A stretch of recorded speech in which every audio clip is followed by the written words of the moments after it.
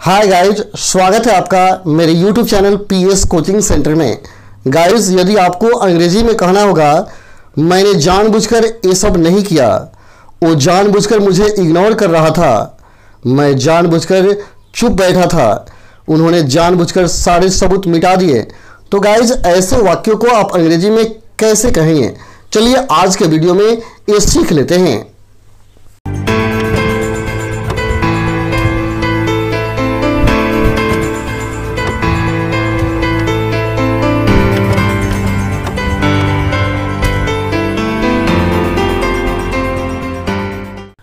Guys इसके लिए आपको स्ट्रक्चर वर्ड प्रयोग करना होगा डेलिबरेटली जी हाँ इसको डेलिबरेटली ही पढ़ा पढ़ा जाता है। कुछ लोग इसको डेलिबरेटली पढ़ते हैं जो गलत प्रोनाउंसिएशन है। आप इसको पढ़िएगा डेलिबरेटली डेलिबरेटली जिसका अर्थ होता है जान बुझकर जान बुझकर डेलिबरेटली जान बुझकर इसी की मदद से ऐसे वाक्यों का ट्रांसलेशन बनाया जाता है। तो चलिए पहले देख लेते हैं डेलिबरेटली का प्रयोग स्ट्रक्चर में कैसे किया जाता है। इसके बाद हम लोग एग्ज़ाम्पल देखेंगे। इसके लिए आपको स्ट्रक्चर प्रयोग करना होगा, सबसे पहले सब्जेक्ट उसके बाद helping verb according to tense होना चाहिए। टेंस के अनुसार हेल्पिंग वर्ब बदलते जाएगा, फिर डेलिबरेटली उसके बाद मेन वर्ड का प्रयोग करेंगे, ये भी टेंस के अनुसार चेंज होगा। उसके बाद ऑब्जेक्ट और अदर वर्ड का प्रयोग किया जाएगा। ठीक है? सबसे पहले हमने क्या बताया? सब्जेक्ट फिर helping verb deliberately main verb object और अदर वर्ड ठीक है? चलिए एग्ज़ाम्पल से समझ लेते हैं इसको। वो जानबूझकर मुझे इग्नोर कर रहा था। वो जानबूझकर मुझे इग्नोर कर रहा था। तो देखिए किस टेंस का वाक्य है? पास्ट कंटिन्यूस का। तो वर्ड में मेन वर्ड में आई जोड़ना होगा तो क्या हो जाएगा? He was deliberately ignoring me तो इसमें आई जुड़ गया ना? तो he was deliberately ignoring me वह जानबूझकर मुझे इग्नोर कर रहा था। He was deliberately ignoring me he was deliberately ignoring me अगला एग्ज़ाम्पल है। उन्होंने जानबूझकर सबूत नष्ट कर दिया। उन्होंने जानबूझकर सबूत नष्ट कर दिया। They deliberately destroyed the evidence they deliberately destroyed the evidence उन्होंने जानबूझकर सबूत नष्ट कर दिया। They deliberately destroyed the evidence उन्होंने जानबूझकर सबूत नष्ट कर दिया। अगला है, मैंने जानबूझकर पुराना गाना गाया। मैंने जानबूझकर पुराना गाना गाया। I deliberately sang the old song I deliberately sang the old song या भी टू का प्रयोग किया गया है क्योंकि पास्ट इंडेफिनिट में है, ठीक है? मैंने जानबूझकर पुराना गाना गाया। I deliberately sang the old song ठीक है? नेक्स्ट है, तुम जानबूझकर उस जानवर को नुकसान पहुँचा, पहुंचाना चाहते थे। तुम जानबूझकर उस जानवर को नुकसान पहुंचाना चाहते थे। You deliberately wanted to harm that animal you deliberately wanted to harm that animal तुम जानबूझकर उस जानवर को नुकसान पहुंचाना चाहते थे।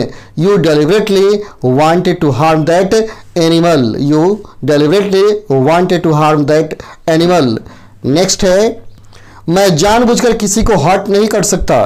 मैं जानबूझकर किसी को हर्ट नहीं कर सकता। हर्ट का मतलब दुखी करना होता है। मैं जानबूझकर किसी को दुखी नहीं कर सकता।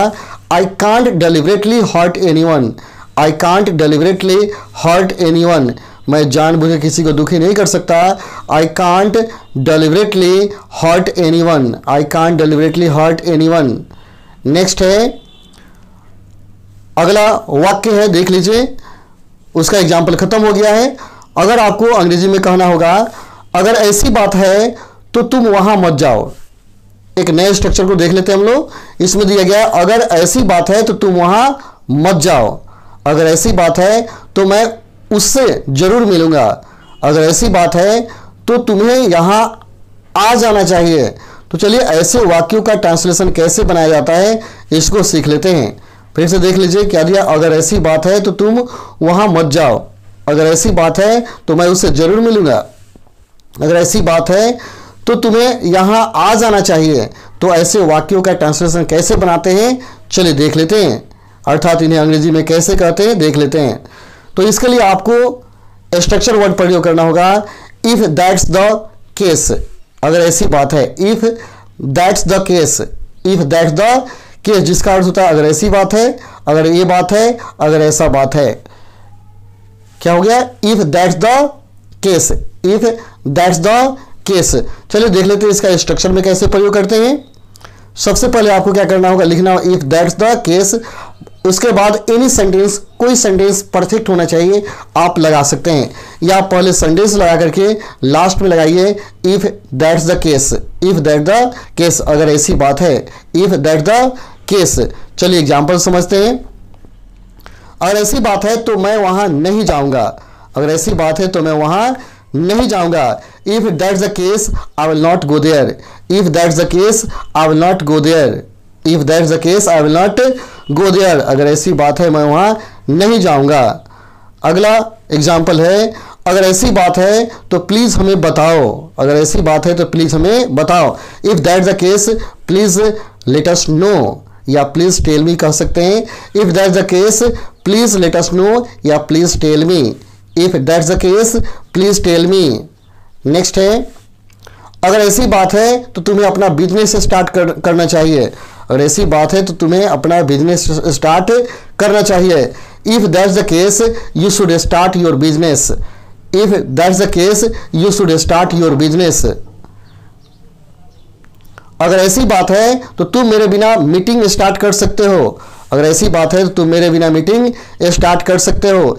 If that's the case you can start the meeting without me if that's the case you can start the meeting without me ऐसे ही बहुत सारा वाक्य बनाइए और खूब प्रैक्टिस कीजिए।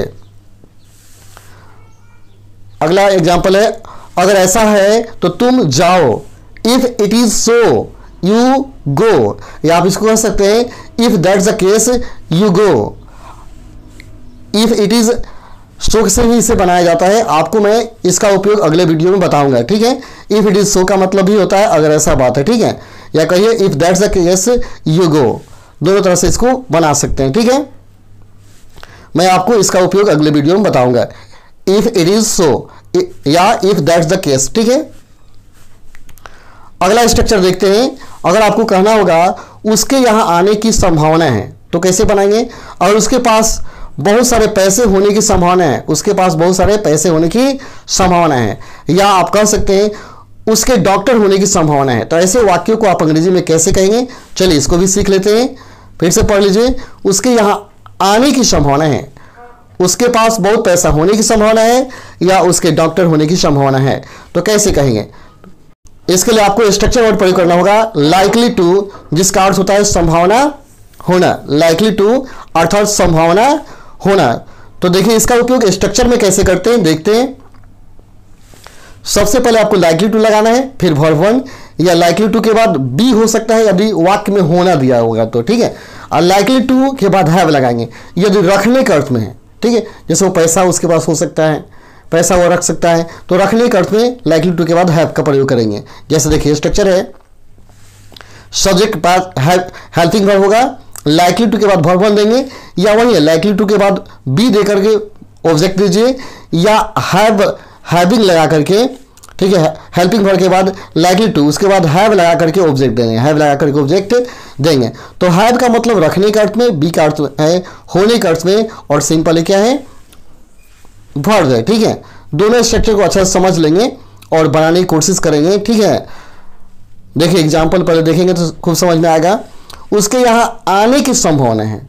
संभावना है। तो he is likely to come here he is likely to come here आने की संभावना he is likely to come here मुझे जाने की संभावना है। I am likely to go मुझे पढ़ने की संभावना है। I am likely to read ऐसा बहुत सारा वाक्य बना सकते हैं।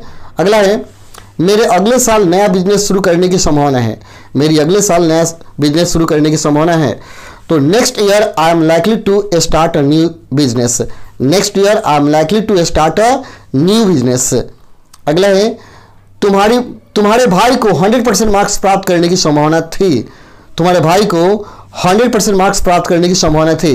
Your brother was likely to get 100 percent marks your brother was likely to get 100 percent marks ठीक है?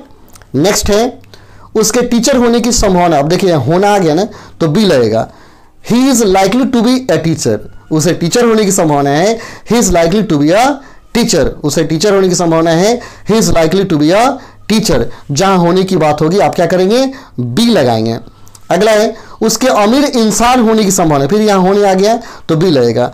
He is likely to be a rich person उसे अमीर इंसान होने की संभावना है। He is likely to be a rich person he is likely to be a rich person कल मेरी छत पर होने की संभावना है।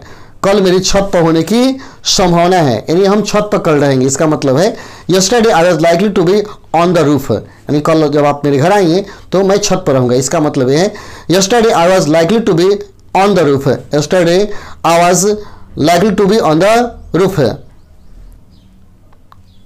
अगला है, उसके पास सौ रुपये होने की संभावना है। उसके पास सौ रुपये होने की संभावना है। He is likely to have hundred rupees तो होने, यानी रखने के अर्थ में है ठीक है तो हैव लगाएँगे। He is likely to have hundred rupees he is likely to have hundred rupees उसके बाद सौ रुपये होने की संभावना है। He is likely to have hundred rupees दो महीने के अंदर तुम्हारे पास एक नई कार होने की संभावना है। दो महीने के अंदर तुम्हारे पास एक नई कार होने की संभावना है। You are likely to have a new car within two month you are likely to have a new car within two month you are likely to have a new car within two month चलिए guys तो आज का video हम लोग यहीं पे खत्म कर लेते हैं। फिर मिलते हैं अगले वीडियो में। तब तक के लिए धन्यवाद। जय हिंद, जय भारत।